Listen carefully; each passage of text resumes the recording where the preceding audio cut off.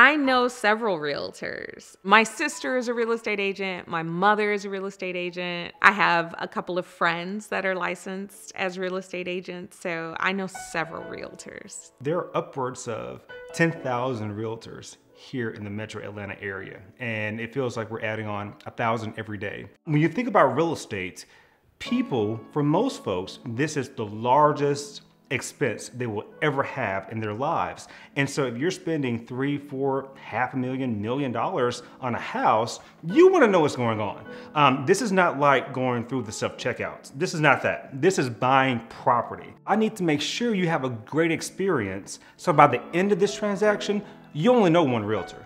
I met Hubert about five or six years ago. We worked together, all kind of joked. Um, or half joked in the office when you get your license we'll be your first clients. And eventually i kept my promise to him. And once he got his license i called him and ended up purchasing a home with him.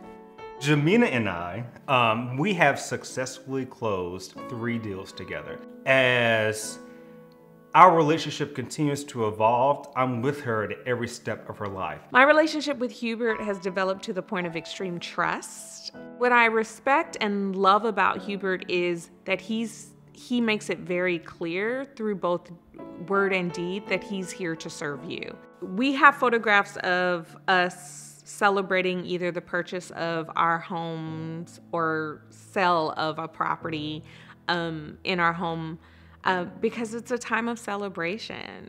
We know that we've accomplished something, and He's helped us accomplish something that uh, really is helping to move our family forward. I get emotional behind it because I realize that people can hire anybody.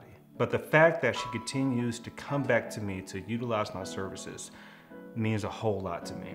I would tell anyone to hire Hubert. I wouldn't trust anyone else with such important um, life transactions other than Hubert. He's got a forever client in me.